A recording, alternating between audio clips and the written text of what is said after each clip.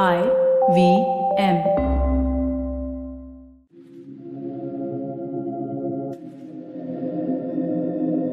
This is Audio Gyan, and I am your host Kedar Nimkar.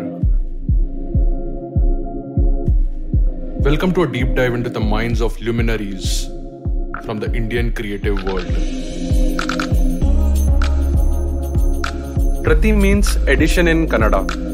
Atelier Prati, based in Bangalore, along with tracing print histories and looking at infrastructural innovations in manufacturing, printmaking equipments, hosts residencies, conduct workshops, curates, and initiates cross disciplinary collaborations to propose new approaches to ideas in print and off print. To discuss this and more, today we have Jayasimha Chandrashekhar with us on AudioGyan. He founded Atelier Prati in Bangalore. Jay has been envisioning a space for printmaking in Bangalore since he graduated from College of Fine Arts uh, in 2017. Welcome, Jay, to AudioGyan. It's a real, real pleasure to have you on the show. Thank you, Kedar. Likewise. Superb. So, as I mentioned, I have these three formats: uh, AudioGyan, uh, regular interviews, case study, and and uh, biographies. In case study, we generally try and deep dive into one problem area, uh, one solution, one project, one sort of one project, and just going deeper into it. So, I, I wanted to pick your brains around what is Atelier Prati, how did you form it, uh, and some bits of printmaking, some history, generally all about print, right? So, yeah, yeah, that's that's what the premise is. And I wanted to start off by asking what is Atelier Prati and, and why did you form it? Um, well, yeah, I mean, I think probably even before I, I mean, most of us know what is mean and what is um, Prati. Of course, I'll have to explain in some time because it's it's rooted in Kannada and I'll have to give some explanations to it. But uh, yeah, the whole idea sparked off or started, you know, as when I enrolled for an undergraduate program uh, in printmaking from a very old institute, in fact, uh, Kalamandir School of Arts in Bangalore. It's actually established in 1990 and it recently celebrated 100 years. And, you know, unlike other colleges, Pioneer, there is one which is like the oldest. you know, mm. I was fortunate enough to be part of that, you know, institute and to uh, study and learn printmaking in my undergrad program there but uh, there's a little bit of back history i don't know if i can dig into if we have time but yeah sure, a, sure. you know so after my plus two which i terribly failed uh, there was a bomber there and uh, so i had no other option and back in the days i think animation was like the big thing and that was sort of like a logical or a rationale to get into in life because I was inclined into drawing and design and things like that. So somehow I convinced my parents to enroll me for an animation program. When I got in there, I met a facilitator, Mr. Baswacha, who is the mentor, who sort of opened up a lot of avenues to me. He's the one who really, you know, put me into this whole idea or allowing me to understand there is this specialization or, or a practice called printmaking right so um, so when i joined there uh, side by side he said i think you might not fit here very well in animation i think you should try uh, you know having a undergrad degree in fine arts and so that's when it started and i went myself and enrolled for this program in kalamandir school of arts where i my specialization was in printmaking and uh, yeah this is where it started you know my interest towards okay. printmaking Ha ha ha. Okay. And um, yeah, I mean, if you can give some bits of like what is Prati in Kannada. I started, it means addition, Yeah. but if you can just give some backstory of, of the name itself, how did it like emerge? Yeah, I mean, see, I think what's very interesting uh, in the title of our space is uh, there's two thing happening. One is like the atelier, which of course is the word referred to all the studios in France, and there was a, a whole, you know, you if you look at the art history, there's a whole plethora of studios, and you know, the all Atelier 21, Atelier, you know, there are many studios. Basically, it's it's studio, and uh, Prati in Kannada it has multiple uh, meanings or associations. So Prati is a copy, Prati is a reflection, and Prati we also it's also like every time, you know, a repetitive act. So you know, it sort of like really made sense for us to use that word, and um, it was yeah logical and nothing could go more logical than that like you know. Beautiful. yeah. Yeah. Yeah when you say repetition i think i have like to circle back on this when it comes to printmaking but um, yeah. So so if we can start off with um, like giving some little bit of history of printing in india. I mean we being always sort of very heavy on the oral tradition uh, i believe the paper came in china in some third century right? Uh, mm-hmm. uh, it almost took 10 12 years to come to india right? And obviously there are different theories and different narratives but uh, maybe we could understand your version of how did it come to india like a little bit of history of printing in india well, I think I mean it's it's a very nicely framed question, um, but I would also like to add that you know um, when it comes to printing, right, or the history of printing, it is inevitable to look at the history of literacy systems, right, and it, it's a highly contested space.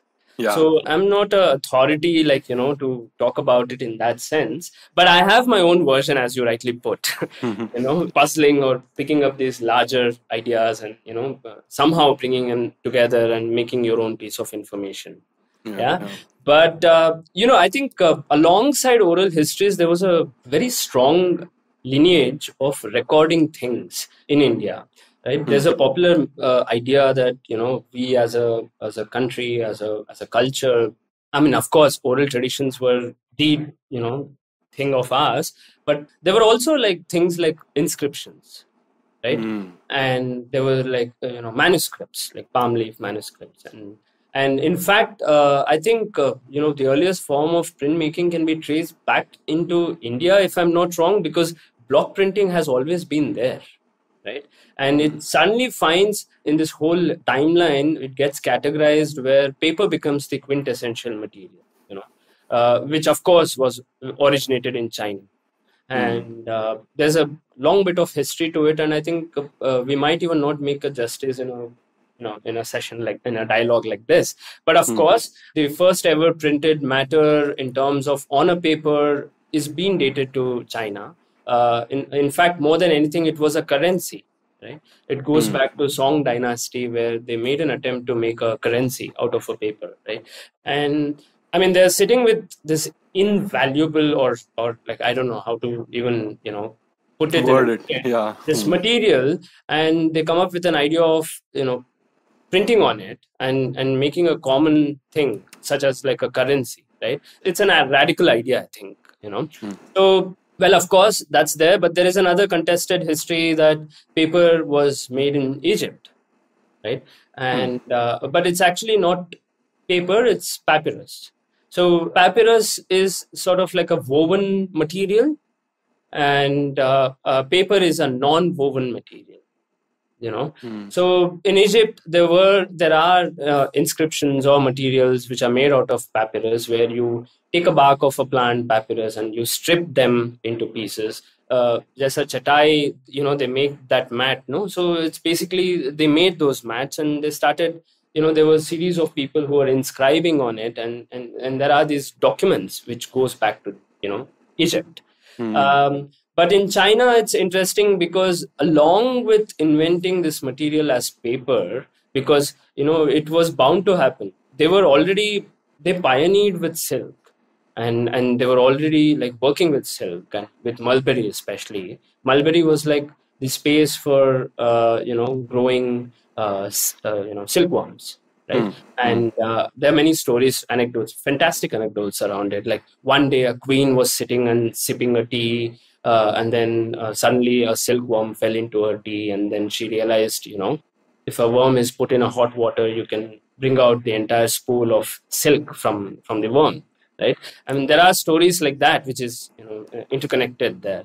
So again going back to my train of thought yes it started in china and and it came to india very slowly as a material.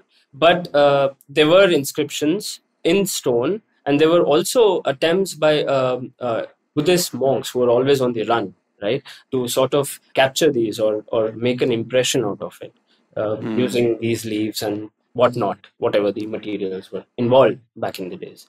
So that's the part with Asia, right? Correct. And, in and fact, in fact, th- yeah. sorry, sorry to interrupt, but in fact, there's one more narrative which I had heard was that, um, and I couldn't spot the roots of it, but the the Tamil script, uh, some of the South Indian scripts are also in a particular direction and a particular styling, just because they used to write on leaves. So the veins of the leaf used to dictate or or, or demand a particular way it's supposed to be written so that it doesn't tear the leaf also so i'm sure that writing would be like much more deeper as as we may not perceive it you know what i mean right it's it to be like much more deeper than that Well, I, I mean, you know, actually, any form of uh, printing Hmm. Is dependent on the material, right? correct Like even if you go back to, uh, if you look at the Mokuhanga tradition of woodcuts, or you know, uh, if you go back to Japan, if you go back to China, it's all guided by the material, right? So, uh, but this narrative of Tamil scriptures being, you know, uh, written in a certain way, I think there are spin-offs in making a narrative right and uh, back in the days it was a series of people who were sitting and uh, as scribes sitting and writing things on you know material and each one has their own signature by virtue of them. Like like today we celebrate handwritings. So so yeah i mean that was there. But it it took a significant role uh, later in the history. I think we should also probably look at the european history of printing and what happened there and you know how it came back to india. And, also end of the day printing is is also a way of colonizing you know. Uh, so there are many things involved in that Got it. Got it. In fact, there's one more interesting piece which I heard recently is uh, uh, many times uh, when the, the British used to have a conversation, uh, since it was oral, they couldn't really find a base, right? In today's day, the way we say that Google kar mil jayega, right? Where they used to say likha kaya batao, like True. like where is it written, right? Yeah. And that's why we were also compelled to write to just to prove that yes it has got i mean if it's in wikipedia it could be true. That's that's sort of the 90s or eight, like 2000s narrative right? Yeah. uh, i think back then if say i don't know vedas were just recited or some piece was just said uh, a lot of colonization didn't really hold it true. Like they would ask where is it written? Show us. And that's how like more documentation also started. Is that correct understanding Uh, I mean, yeah. I mean, uh, as I said, this is an uncharted boundary, like you know. Uh, Hmm. But in fact, if if I can put a thought there, uh, I think the earliest uh, registered books pertaining to grammar, right? It goes back to India. Um, you know, there was an attempt to make uh, grammar books for Sanskrit or Tamil. Hmm. And you know, so for for for a culture which believed so strong in oral tradition, you know and picking up these things and making into a, a book format itself is is a is a radical thing quickly adapt and to move and to make certain things Yeah, yeah, yeah. The reason why I thought of this is because recently I was in a workshop where this guy, uh, the, the speaker said Bhatkhande, the legendary musician, and right, actually like a teacher, like everything. He went on documenting all the things and then wrote a book because Hindustani classical music or Carnatic is very much improvisation. So Hmm. they are just tripping on something, and he got offended. I Yeah. mean, that's one of the story. So he said it's not tripping. It's it has got a framework. It has got a grammar. It has got everything. It is just that the framework is so agile that you can still explore and come back to the main rag. So so yeah, I mean that that's where I thought true, it would be interesting. Yeah. No i mean another interesting thing is if if we look at the lineage of materials uh, which are involved in printmaking uh, i'm sorry i mean throughout the conversation i i stress a lot about material and that's Yeah. my practice right?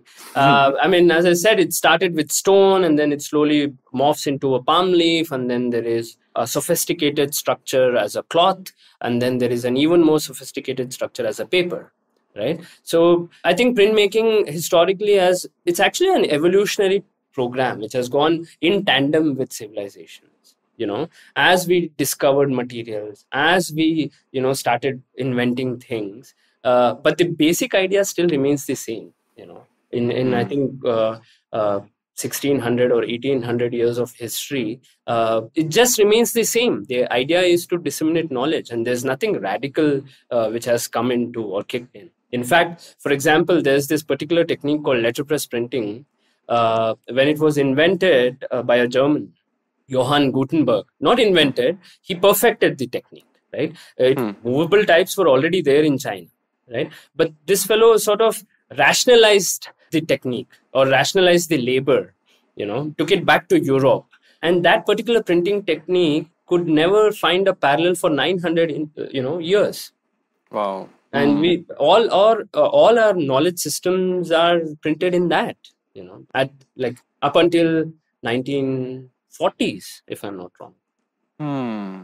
Yeah, if you zoom out that way, is it not saying too much when we say that the inkjet and these sort of dot matrix printers had a really short life now because we are in this digital world Yeah. and then like 800 900 years of like pure material pink Yeah. uh, whatever like print and, and ink and oil. Yeah. Uh yeah it's interesting. i have an interesting. story to that. You know what? Please, please, yeah. If you look at the digital or the inkjet printing right any form of digital printing and if you look at any form of conventional printing the quintessential principle is the same. It's a binary system. There is a dot of ink or there is no ink. If you look at into computer it's one or zero. Hmm. know? between these extremes these are the illusions we create we work with. Like if you look at like an 8 bit system or a 32 bit system or a 16 bit system it's a multiple of what the binaries what we are working with right? Either there is light or there is no light. And in print either there is ink or there is no ink and that's the same. We Beautiful. have uh, such fancy machines which can sort of like perform uh, uh, in microns. And i mean here's another thing. I think as much as asia has contributed to print uh, i think the germans have done in the same way right? And and all the breakthrough inventions in printing technologies are made by germans. I mean it's very interesting to look at. If you look at lithography it's a german you know uh, a stage playwright who someday accidentally invented this technique. Uh, if you look at uh, letterpress, it's Johann Gutenberg who sort of perfected the technique. So uh, I think Germans have contributed a lot in terms of printing technologies. But you know, let me not stop myself there. But, uh, what I was trying to attempt was like if you look at the best machines in in the world, like the Heidelberg offset machines, right? They perform in such uh, speed that we can't even comprehend in our real life. But they still operate on the same logic. There is ink. There's no ink you know there's nothing beyond that Hmm. Beautiful. Yeah, it, it gives a very interesting perspective to look at things. Yeah. I mean, you know it, but it just like, it gives a, yeah, like a pause to think about it. Interesting. yeah Uh, yeah. Okay, let's take a short break here. We'll be right back. Hello, hello, hello, everybody. Welcome to another great week on the IVM Podcast Network. On Think Fast, Varun and Suchita discussed Revlon filing for bankruptcy and Sony Liv's success story. On Cyrus Says, Cyrus was not there with us this week because he's vacationing in Spain. Ayushi Sriram, Antriksh and Abbas, however, discuss airline etiquette and gifts they're given to their exes. On the Wire Talks, author Aparna Piramal Raja tells Siddharth how she coped with bipolar disorder. On Press Decode, Sarah Bagda and Prafula take a look at the porn industry. And on Big Talks about tiny humans, Devi Shobha and Meghna discuss four major parenting styles. Just a reminder to everybody the IVM merchandise is now available. You can go to the IVM Podcast website and click on the shop tab. Check out our first collection of t shirts. Also, do follow us on social media. We're IVM Podcast on Twitter, Facebook, Instagram, and LinkedIn. And I'd like to remind you all that it is really, really helpful for us when you do recommend this show or any of our other shows to a friend. Word of mouth is great for us, and it's really a great way for us to grow our audience and have more people for you to discuss your podcast consumptions with. Also, don't forget to rate us on any platform you're listening on, and you can also check us out on YouTube at ivmpodcast.com slash YouTube. We have a list of the YouTube channels we are on. And finally, we'd like to thank our sponsors this week, Cap Gemini, Intel vPro, and Intel Future But Now Wonderful. Thank you so much for making this possible.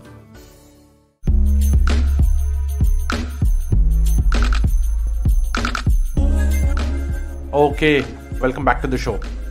Yeah, we'll circle back on lithography. we'll, we'll and types of eventually come back i guess yeah you know you know i think when you ask that question probably i think uh, i should also uh, probably slightly assert there's a difference between printing and print making Hmm. and uh, both of it has contributed in its own way right so often what happens is we tend to get lost in or get interchanged in these terminologies what is printing and what is printmaking right from the day one it's just been printing but printmaking is a terminology which was picked up later right Hmm. for example um, you know So, so yeah, I mean, that was my one of the questions. Like, what is printmaking for a layman, and what are the nuances or like the subtle or evident differences between, say, printmaking and and uh, printing? Yeah. So, okay, I think again we have to go back to the history of printing. Uh, it could be East or the West, you know. Again, it's a contested space. But uh, uh, the core idea of anything to do with printing is the dissemination of lo- knowledge, right? Back in the days, the availability of the material and the availability of skilled people you know who can deal with a certain material in a certain way was the prerequisite for any sort of you know knowledge dissemination right? Like if we look at it the first bible which was printed or the first compilation of shakespeare's work which was printed they are in numbers like 200 or 300 you know? And and that number you know today it's it's it's a joke. Hmm. but back in the day it was 200 people who could have this repository of knowledge right? So what happened down the lane was uh, when when the techniques got sophisticated there were a lot of people who are involved in it. Like for example to a very longest period of time there was no idea of an artist printmaker. You know it was always printmaker. It was a designation. It was a serious craft right? And there were like other uh, you know uh, specializations like the stone men who used to like you know what do you call bring in all the letters in letterpress printing the types and sort of put them on a stone which is perfectly flat and make sure they're all level. They were called stone men. So there were these hierarchies in labor Hmm. right? So it was an industry and it is still an industry. In fact india is the biggest printing economy in the world right? Hmm. and uh, what i'm saying is it becomes printmaking when artists embrace the technique and when they started creating their own works right? So for example let me just quickly give you an uh, you know whatever a painted image on this. If there was a mokuhanga artist back in the days he used to paint the design yeah on a paper on a piece of paper and that was given it to the key block maker. That was a serious craft. It was a trade. That guy only used to sit and carve. The artist would never sit and carve right? So he used to carve and later after this person was carved all these multiple blocks for whatever multiple colors whatnot and all of that it used to go to a printer. So there is a hierarchy within the system right? I think this hierarchy largely was broken at the time of uh, german expressionism. I mean this is like a historical or a time frame in art history you know what people usually look at. But it was right after world war one and there was this trauma and there was so much things to say where artists picked up these techniques and they started doing it on their own. They no longer wanted to depend on these you know crafts people Wow. Right? And then and then it's like a liberation like you know you can you can do whatever you want to do and you can put it out in the real world. So i think uh, according to me uh, printmaking as a term became fortified in in that time in that history in, you know in, in that timeline of the history. And later a lot of artists picked it up and you know they started experimenting with it. They started doing things with it.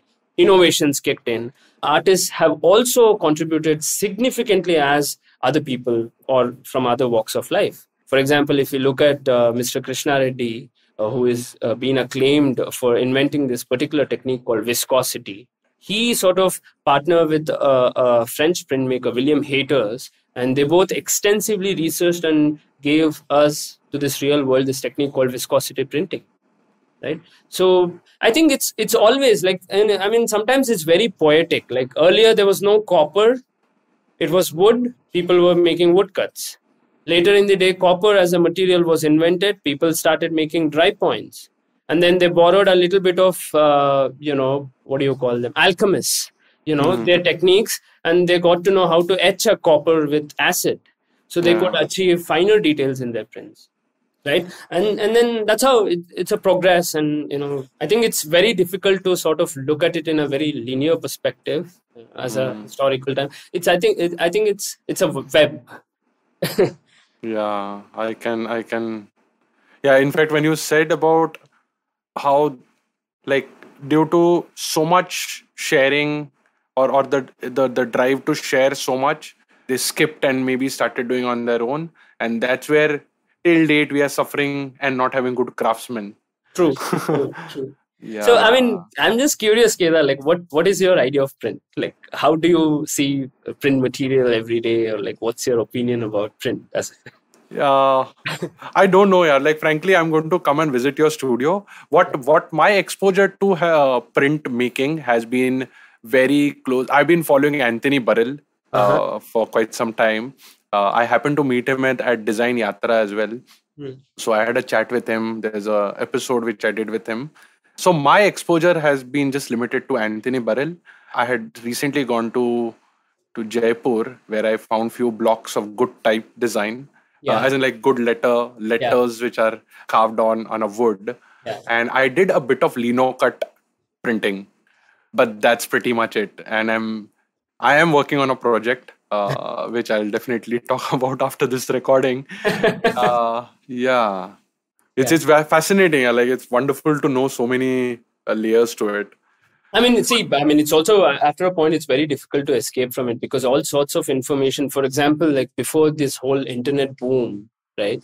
I think uh, I don't know if you remember there was there's a particular publication. It's called the Collier's Encyclopedia. Hmm. Right? They used to come up in like 21 volumes, right? And it's it's like the Google or whatever, like the internet search base, right? Anything you want to know, you you know, people used to go to that encyclopedia. It's all summed up, and there are indexes, there are bibliographies attached to it. Everything is in print, right? Yeah. And it's also very interesting that how often we think about a lot of other paraphernalia which is around us, like magazines, film posters, matchboxes. You know, it can be as simple as like a pataka, like a firecracker, and you know, and an artwork printed on top of it, like you know. So it's, I mean, it's everywhere, predominantly everywhere, and we cannot escape from it for sure. Correct, correct. In fact, uh, like if you think of in that axis, there has been some records which are maybe like 10, 12, 14 generations older, which are still written in hand by these these uh, people in Varanasi and uh, parts of yeah yeah like matlab who's your father and then fathers fathers fathers mothers fathers and like just go on till like some 10 15 generations because everyone used to come for the death rituals there. So they used to just put and there are like huge go downs with just like print stuff right? It's not printed but it's handwritten but still on paper. So it's, it's somewhere has a record Yeah. No, I mean, I think uh, uh, on that lens, let me tell you like uh, one. So there's a set of like, uh, it's a suite of 142 aquatints, uh, which was uh, commissioned, I think, by the Queen. These are British artists, Thomas and William Daniell, right? And that particular suite is the earliest record of India, which has been published. These brothers, cousins who visited India, they've produced these 142 uh, suit individual works, which are again editioned into whatever numbers, right? Up until 1800s, when the photography as a technique was in, invented, that was the only painted picture of India. So, you know, that's how India was perceived in the West. So I think print has its own fair share, like in, you know, in terms of uh, establishing certain ideas or painting a landscape to someone, you know, far in the ocean and things like that. Yeah, yeah. I did an episode with uh, on on uh, map uh, how a boundary is designed and stuff like that. Yeah. Um, and it's it's fascinating because that's also a form of like putting a spatial sort of design on a paper, Yeah. and that becomes pretty much a reference point for everyone how it is, uh, how the country looks or how the geography is shaped and where is the ocean. So yeah, it's, just like endless. Print hai to sab kuch hai types. no it's it's it's definitely endless in fact you know actually if you this particular example what i gave you about thomas and william daniell you know they are not just mere painted pictures anymore you know if you retrospect on them if you relook at them you know they become a site of study for like you know recording history ethnographic studies you know uh, what is a painting you know what is a visual language there are these documents which carry these sort of substantial information like you know one can endlessly sit and mull about right i mean unlike a newspaper what we get today in a belpuri shop uh, you know it's like it's just been rolled up and you know uh, it's always contested in that that sense Hmm. Cool. Uh, I think I've like a couple of more questions. Um, so if you can quickly touch upon what are the different types of printing or yeah, printing. I would keep it very focused. Uh, say like lithography or or like any any different varieties or are they categorized in a particular order or is it just like a flat So, list of 10 yeah. techniques No, I mean, see, each individual who practices printmaking, it's a technique in his own right, his or her own right, right? But uh, largely, print has these uh, grand pigeonholes or brackets or whatever we would like to call them. In terms of techniques, again, it's a very material intensive or oriented thing, right? So it starts with relief printing. Relief printing is a bracket where it's like lino cut, wood cut, block printing, you know, whatever a reverse image reverse is the constant in every other printing technique unless it's an offset printing where it's been deliberately uh, you know i'll explain that in some time. But uh, so relief printing is basically as as the title suggests it's like you're making an impression from a relief from a high surface. So that's one category. Uh, relief printing is where you sort of knock out or take away the negative areas you know the unwanted areas. You don't want these things to be printed right? Hmm. If you take if you just take a piece of wooden slab and you roll up some ink to it and you put it into pressure you will get just a black patch. Oh. now in that if you want to sort of create a design it's basically actually a design right? Hmm. So if you want to create a design you knock out where the ink should not hit the surface of the paper. You carve out Yeah. physically. So that's relief printing later as we got our hands into newer materials and copper as a material was found and you know all of that uh, there is a mega umbrella. It's called intaglio with a g. Uh, uh, intaglio is a technique where it works a little it's like opposite to relief printing where what you do is you force the ink into the negative areas or what you do is you carve your design into a block and you put your ink into it and you make sure there is no ink on the surface Hmm. and you re- run it through an etching press uh, it's a machine exerting a lot of pressure so and then there is a paper which is dampened and it, the paper which is dampened which is soft in its state it will go all the way into the pits or the crevices what you have carved in and it will pick up that information from there and then you get a impression out of it so what Got it. falls in intaglio like you have dry points you have etchings you have engravings you know. Embossing. Embossing most of these they fall into intaglio you know Mhm, technique. Mhm, mhm. so after uh, intaglio you know again the next one uh, logically coming is you neither cut nor you carve in uh, you you barely do anything to a surface which is lithography. Lithography is a name suggested uh, litho means stone and graph is like you're making a graph from a stone right? Lithography so basically, it started with a particular stone, which is limestone, and it still remains with that, which has a lot of pores in it. Right?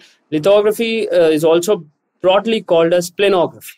Yeah. Third major umbrella, as I was suggesting, um, it's I mean, as I was sharing, uh, it's planography, and uh, uh, under planography, it's lithography, and it's basically a technique where you neither carve or, or nor dig to produce an image. What you do is um, you basically employ a basic science which is water and oil repel right? And uh, limestone is the stone usually which was used uh, you know when when it was invented.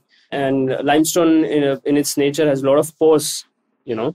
And uh, you take a piece of wax or a greasy material and you draw on the piece of stone and the rest of the area you treat it with water right and when you charge ink on on on the stone whatever area you have drawn with a waxy material ink and ink they get attracted and the ink will go and get you know attached to the image which has been drawn on the stone.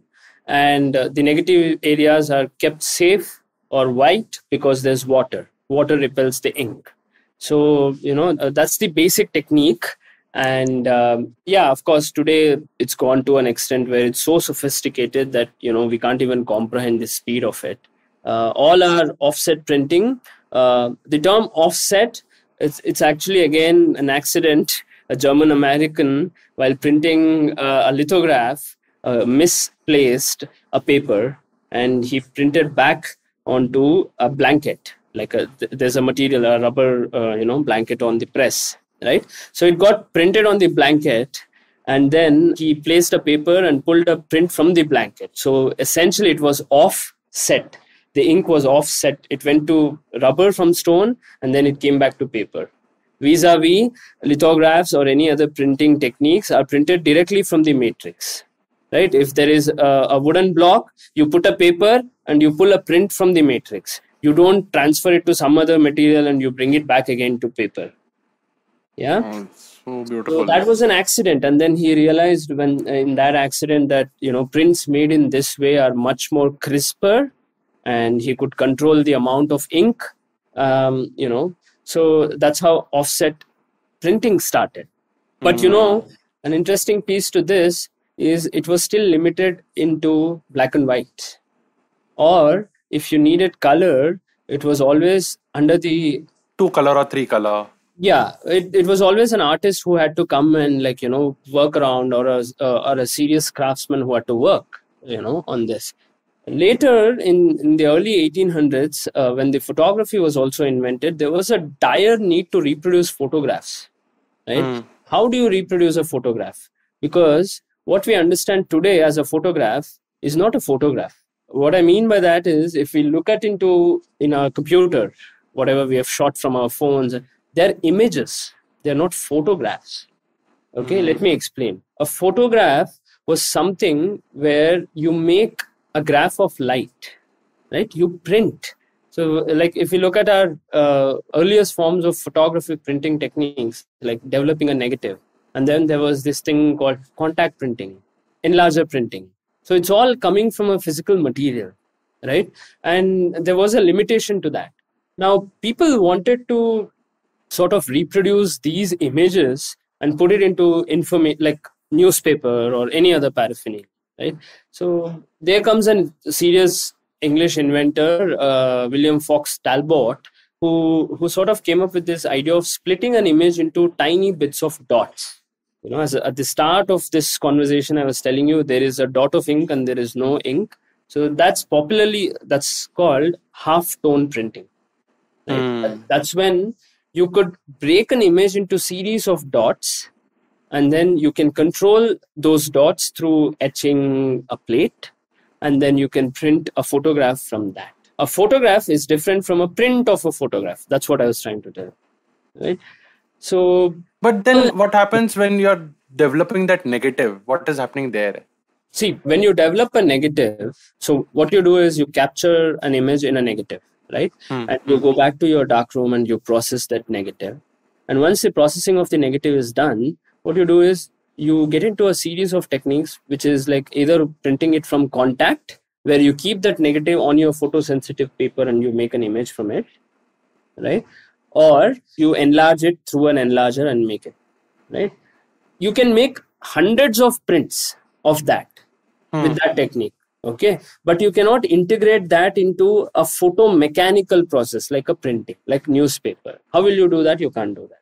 Because in a dark room if you want a print you need a highly sensitive paper which is very expensive right? You cannot make a newspaper out of a highly photosensitive paper. Hmm. right? So there was a gap to bridge. You you had to bring that image into a popular or a mainstream or a commercially viable you know space.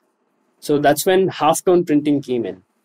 And later that was appropriated for a particular uh, field of study. I mean color is it's a ocean its own right.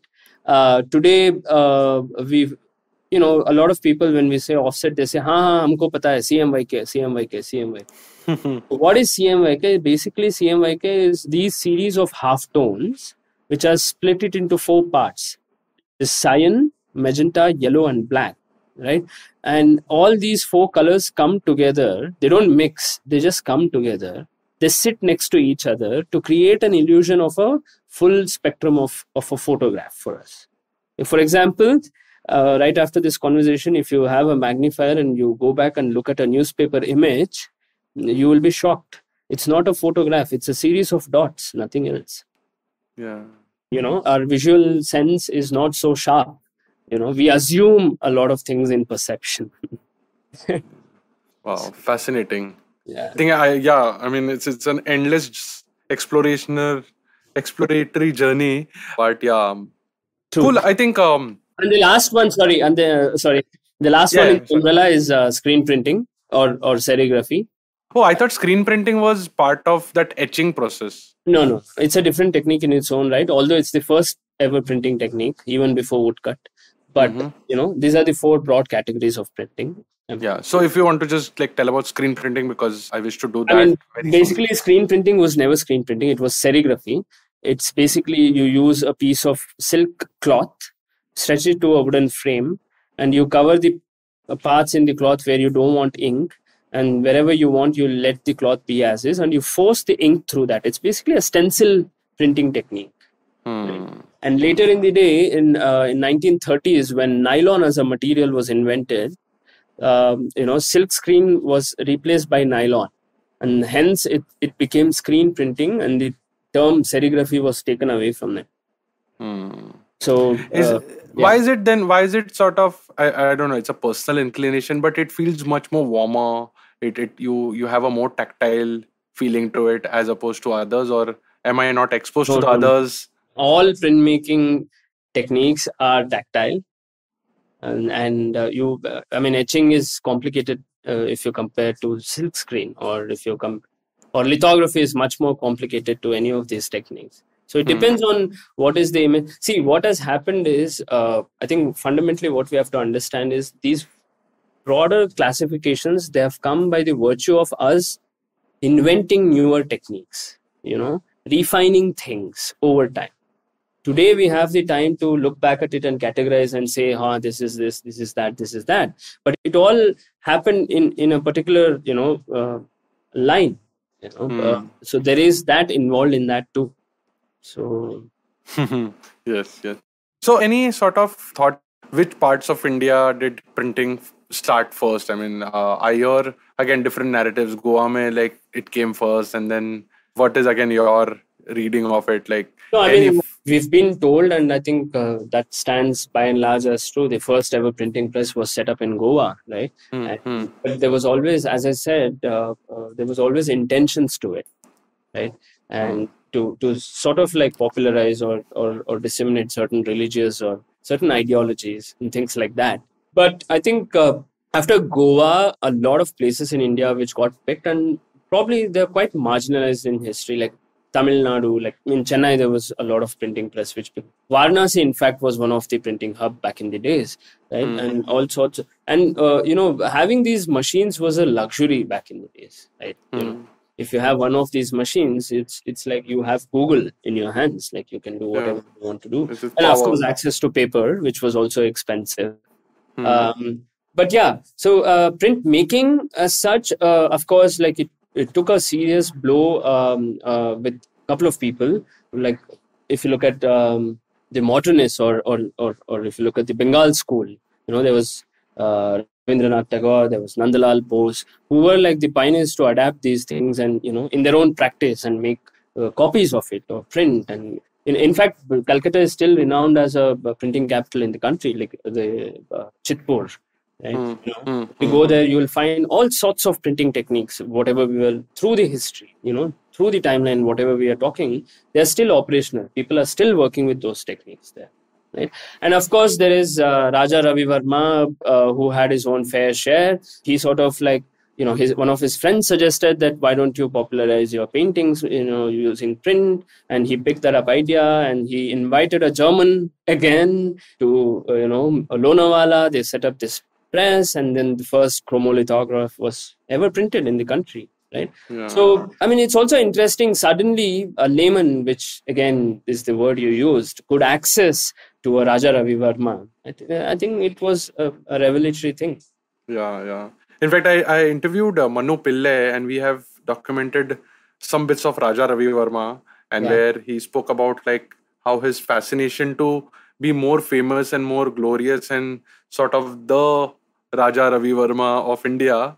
but it's Uh, just it- it's, it- it's just not that unfortunately it has a lot of other you know connotations to it which Yeah, probably yeah. sometimes we might not have the time or bandwidth to sit like you know there are a lot of religious or nationalistic approaches or connotations Correct, around Yeah, these you know, specific things Yeah.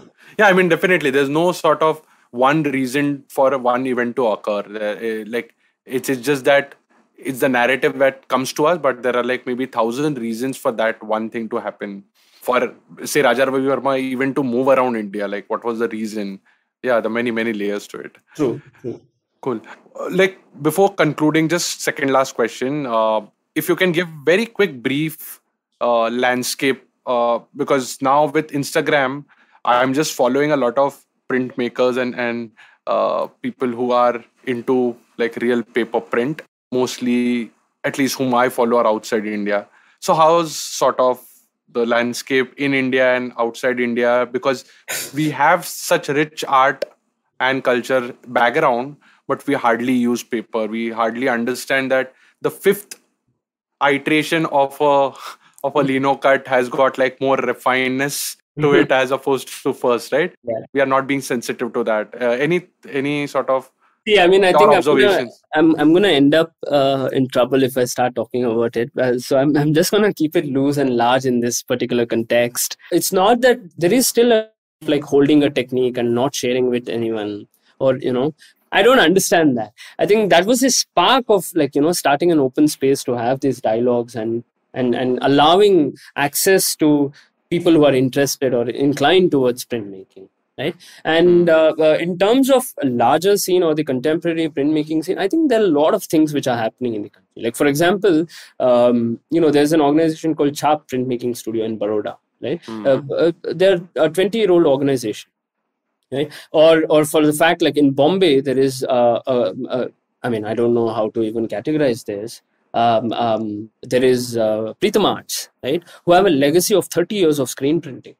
Hmm. It, they, they might not be working in the fine art or the artist space for 30 years, but I'm I'm sure they will catch up and they will be there, like you know. And or or uh, for the matter of fact, if uh, I mean, come on, who who doesn't celebrate Diwali in the country, right? All this while we have burned so many crackers, all the paraphernalia around, you know, it's all in Shivakashi, right? It's the printing capital any film poster you know uh, up until the advent of offset printing any film poster was printed in shivakashi right Hmm. it's it's also very interesting to look at these practices and you know where they stem from how you know a lot of people find livelihoods Uh, for a lot of people it's it's joy exploring a material or uh, looking at you know refining a fifth layer or a fifth edition in the lino cut you know as you were suggesting right so so it's difficult but there are definitely uh, a lot of people who are invested and who are working towards you know uh, continuing or keeping these practices alive that's very much there Yeah. Uh, there's some ray of hope. Cool. So, what's the future? What, according to you, you have been sort of contemplating and thinking and speculating? Uh, I'm sure you must be like undergoing through a lot of churn as well in your mind. But what, what, how do you envision future of print in India with now uh, oil, yeah, struggling to survive, paper being challenged with eco-friendly karna hai. uh, no i uh, think in fact uh, with the consequence of the recent uh, gapla with russia and things like that uh, you know in fact we're all struggling like for example uh, you know there's this particular paper which is used in packaging t-shirts or shirts right when we buy a brand new shirt uh, there's a card slipped in in a shirt it's called Yeah. a duplex board Mm. It's a duplex board is like a recycled board, a material. Mm. Earlier, uh, it was like eight rupees, but uh, I don't think one has to be afraid of it because uh, there is a tangible aspect to it. It's not just the value of it, but you know you can still touch it, feel it, romanticize. You can think about it, and there is labor. You know, as long as labor is involved in it, I think it is there to stay. yeah yeah again sort of survives test of time and in 2000 i don't know maybe like 80 someone in metaverse is listening to this and then think yeah well, I mean, I also hope that um, uh, I didn't end up in you know trouble saying. but you know, it's, it's it's a contested space. Of course, it's definitely a contest. I mean, Yeah. um, who has the? Is a question. Right? Put them into a framework and say, "Ha, this is how it works," or this is how you know.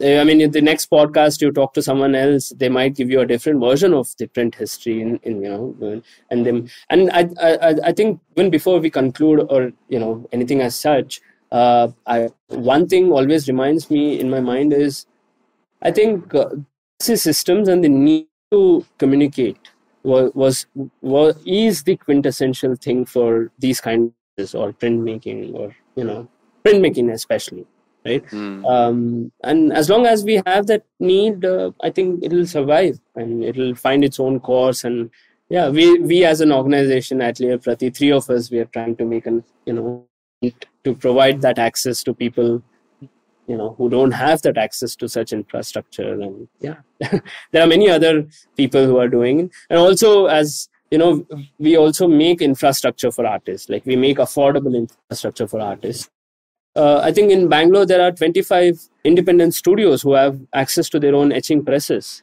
Right? We ourselves have built that. You know, it could be an institute or it could be an artist individual studio, but people are still willing to this technique.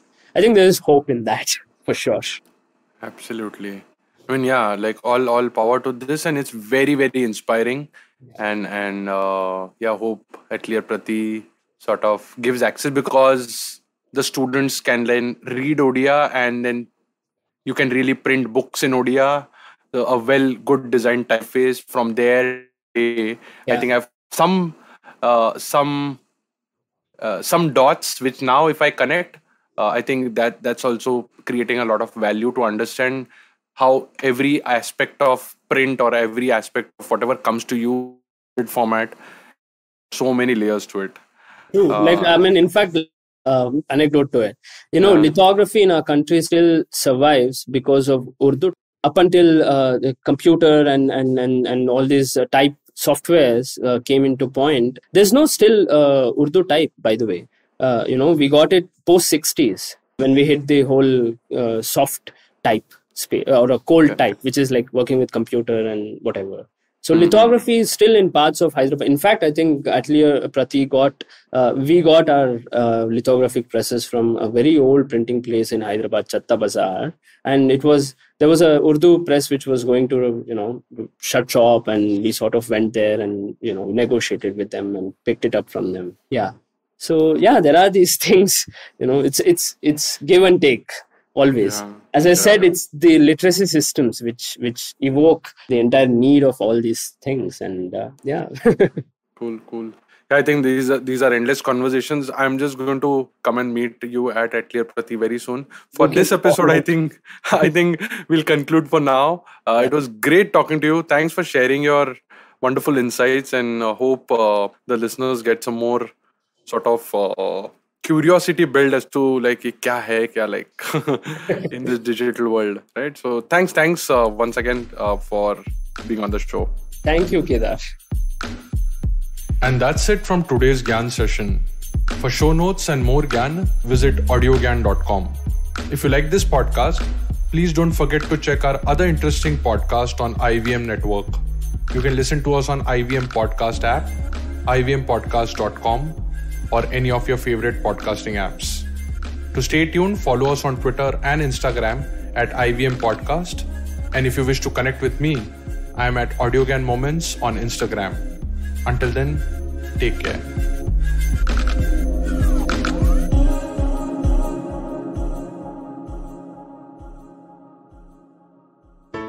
There's a quick survey to fill out on ivmpodcast.com slash survey. It lets us know a little bit more about who's listening to us. And you know what? We're going to do a few prizes. So, I mean, like, we'll do a random drawing of like maybe 10 people and we'll send you all some swag. Remember, that's ivmpodcast.com slash survey where you can fill out the survey. Don't you think that if everyone around you is getting smart, you better be smarter? Hey there, I'm the traveling professor Siddharth Deshmukh, and I'm back with season two of my podcast to make you smarter. Smarter with Sid. What's this season's focus about? Well, it's about 10 minute nuggets that will make you stand out at work. It's time to go from smart to smarter. Tune in every Tuesday and Thursday and become smarter with Sid.